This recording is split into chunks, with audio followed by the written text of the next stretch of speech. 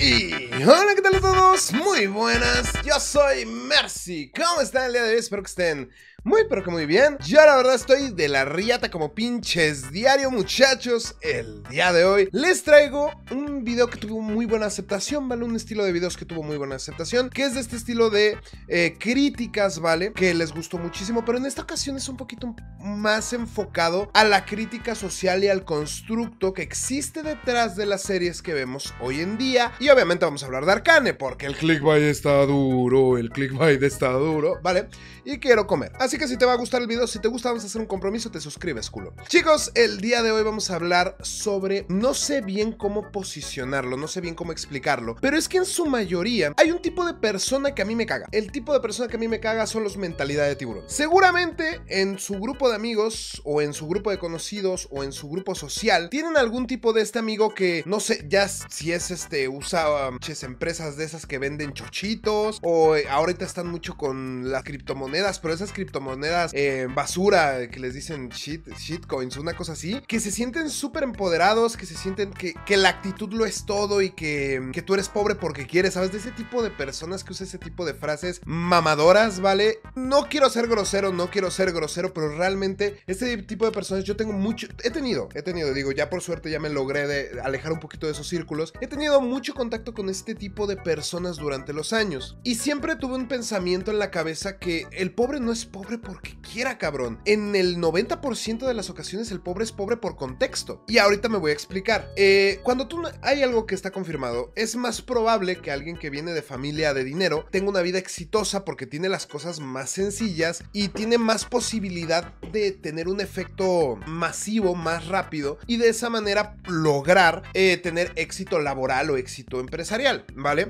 Y ahorita Espérenme tantito, estoy dando contexto, espérenme tantito antes de que me digan, Mercy, no que esto era de Arcane, espérense tantito. Una persona que en calidad de calidad de vida que no nació muy afortunado o que tiene o que familia tuvo ingresos muy muy bajos, hablo de ingresos muy muy bajos, o que vive en ciertos barrios o en ciertas localidades, sobre todo aquí en Latinoamérica, esa distinción social se ve mucho, no tiene las mismas oportunidades que una persona que tiene esos privilegios, ¿vale? Y en muchas ocasiones dicen, y este tipo de personas, los mentalidad de tiburón dicen, no, pues es que si tú eres muy inteligente, puedes hacer algo bien por tu vida y, vas a destacar. Y sí, hay casos de éxito de personas que vienen de muy abajo y se la rifan bien cabrón y logran cosas impresionantes. Eso no lo voy a negar. Pero en el 90% de los casos eso no sucede. Sucede algo que voy a hacer la comparativa. Y es algo de que nadie ha estado hablando. Voy a hacer una comparativa entre Jinx. A ver si mi editor me puede poner aquí una Jinx chiquita. Jinx y Jace. Jace en nace, bueno, no nace, tiene esos beneficios de poder estar en Piltover, de poder ir a la academia, y es considerado un genio, el padre del progreso, su puta madre. Y después tenemos a Jinx, que también es una genio. Nadie, creo que nadie se fijó, o sea, o nadie, nadie lo eh, entendió el mensaje que tenía realmente estas escenas, pero Jinx entiende la tecnología de Jace. Jinx la, la está descifrando, entiende cómo, entiende sus notas, entiende cómo cómo está funcionando. Y se nota que el campeón, bueno, el campeón, y se nota que Jinx, que Powder como personaje, es un genio, pero es un genio que te cagas. O sea, su inteligencia probablemente sea superior a la de Jace. Pero por su contexto, ella es la villana. Al no tener las mismas oportunidades que Jace en base, yo sé que esto es una serie chicos, pero simplemente estoy haciendo un paralelismo, ¿vale? Estoy haciendo un paralelismo. Es un video muy mamador, si no te gustan este tipo de videos mamadores, cierra el video y ponte a ver uno de mis monólogos, que también están bien vergas. Pero al ver, al ver ese, ese sentimiento me entró, muy, me entró un sentimiento muy raro, ya vi vimos ya los seis capítulos de la serie, es indudable que es una obra maestra, que son muy buenos todos los capítulos a su manera. Eh, y al ver esta comparativa de que Jinx es tan buena disparando como Caitlyn y es tan inteligente como Jace, pero ella es la villana. Y me podrán decir, sí, Mercy, pero es que lo que pasó en los primeros tres capítulos, por eso se vuelve loca. Sí, pero eso es consecuencia de vivir en Sound. Porque ahora tú imagínate, quiero que todos hagan este ejercicio. ¿Qué hubiera pasado con Powder en Piltover? Es eso. Ah, ya, lo, ya lo descifraste. Jinx hubiera sido la madre, la madrina del progreso, la doña chingona, se rompe la madre con Víctor, etc. Es bien interesante poder descifrar este tipo de cosas de las series, ese tipo de mensajes ocultos que hay por detrás cuando ya los llevas al sobreanálisis o cuando ya eres muy fijado, que realmente el contexto de la vida, ¿cuántas personas no habrá, chicos, que no tienen una calidad de vida deseable o no viven en el contexto esperado?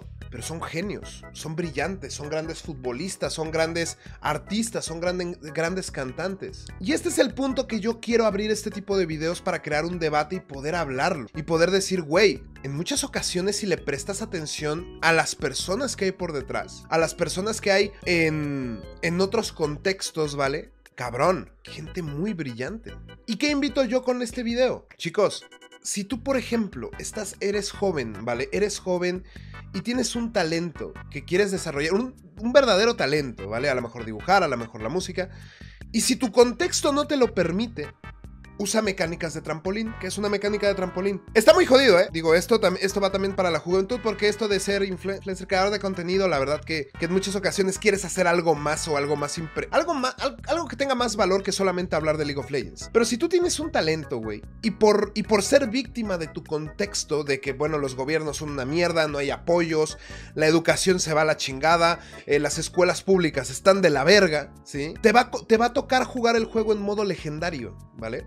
Te va a tocar a lo mejor trabajar para poderte pagar tus estudios. Y sí, güey, a lo mejor es más sencillo, güey, usar tus dotes a lo mejor intelectuales, güey, si eres muy inteligente, para hacer maldades, güey, para hacer cosas malas, como lo podemos ver con Jinx. Y que por su contexto eso lo lleva a ser la villana, ¿vale? Ser la mala, ser la que está loquita de la cabeza, pero no porque esté loquita de la cabeza no podemos ver tanta genialidad en ella, ¿vale?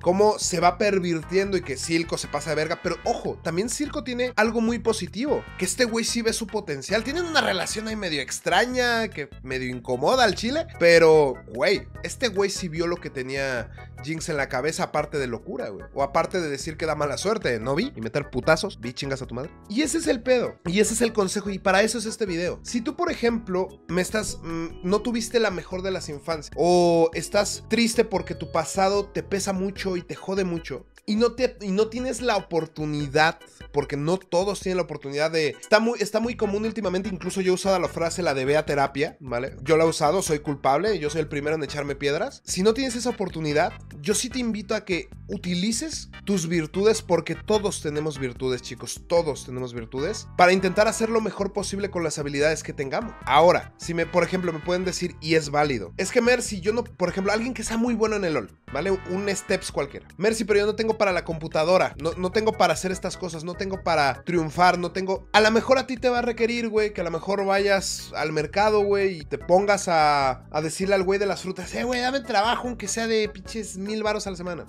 o 500 varos, no sé, güey, no sé. O a lo mejor intentar conseguir trabajo de pinche, no sé, atendiendo una tienda. Las tiendas de abarrotes contratan mucho a público joven. Y que a lo mejor eso va a quitar el tiempo que le dedicas al juego y que te vas a tener que esforzar más, sí, güey. Desgraciadamente todos somos de alguna u otra manera víctimas de nuestro contexto. Pero al final del día, lo que hagamos con nuestras virtudes también es nuestra responsabilidad. Del decir, si yo soy bueno en algo, también es importante aportarle al mundo ese algo bueno que tienes. A algunos les va a costar más trabajo y a algunos les va a romper la madre. Y si llegaste a este video y te estás sintiendo identificado, cabrón, está de la verga, güey. Honestamente está de la verga, güey. No tendría que pasar. A veces te puedo decir que es hasta injusto. Pero seguramente, muy seguramente, si te esfuerzas lo suficiente, que no tendrías, te vas a tener que esforzar. Te vas a tener que romper la madre para romper tu contexto. Para, para hacer ese 10% de todo el universo de posibilidades que puede romper con tu contexto. Porque desgraciadamente, y como ya lo vimos en Arcane, el contexto en muchas veces nos esclaviza a tener un destino decantado por lo que vivimos, por ese tipo de experiencias, por la zona, por el contexto económico, por el contexto social. Y romperlo está bien cabrón, güey. Pero si tú, por ejemplo, voy a dar un ejemplo muy fuerte. Si tú, por ejemplo, desgraciadamente, para poder comer has tenido que robar, y estoy dando un ejemplo muy fuerte, y perdonen si, si no les gusta este tipo de temas o tocarlos, pero creo que los temas incómodos son los que realmente nos dan cierto valor, nos dan cierto, cierto valor para hacer las cosas mejor. Si has tenido que cometer ese tipo de cosas malas, puedes cambiarlo. Te va a costar mucho más trabajo. Te va a costar muchísimo más trabajo. Y va a estar muchísimo más jodido para ti. Pero yo creo que puedes.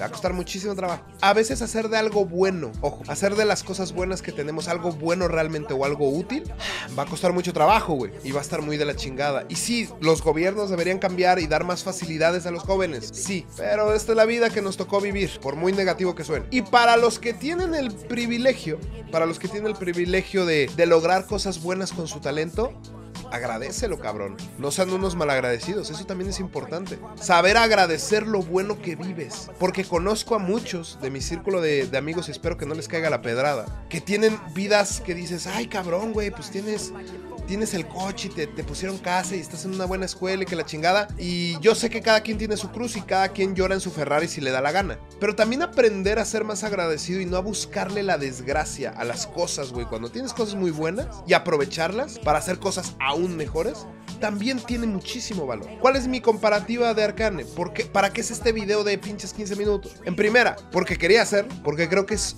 interesante hablar de este tipo de temas. Y segundo, porque estoy seguro que Jinx le habría ido mucho mejor en Piltover y Jace le hubiera ido muy de la chingada en Sao. Pero eso no es culpa de ninguno de los dos personajes. Pero si estás viviendo un contexto, probablemente tengas que luchar contra él. Espero les haya gustado el video, chicos. Sé que fue un video muy diferente y muy fumado, güey, y pinches temas acá mamadores, pero también me gusta aportar este tipo de cosas.